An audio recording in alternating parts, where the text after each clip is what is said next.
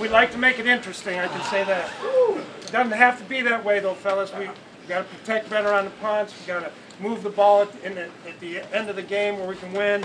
Defense, we can't give up a touchdown at the end. Other than that, you played your balls off tonight, all right? Good win, division game on the road, that's a hell of a win, fellas. I told you how big this game was, right? We had to go out and we had to win this thing, give us an opportunity to continue to move forward, all right?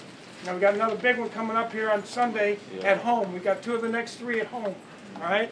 So let's get back in there, let's get back to work, let's get grinding, let's get to where we gotta get to, okay? We're gonna need it for three more weeks, fellas, so mm-hmm. we can get into this thing, all right? All right. Vikes on three. One, two, three. Vikes. Go, DJ!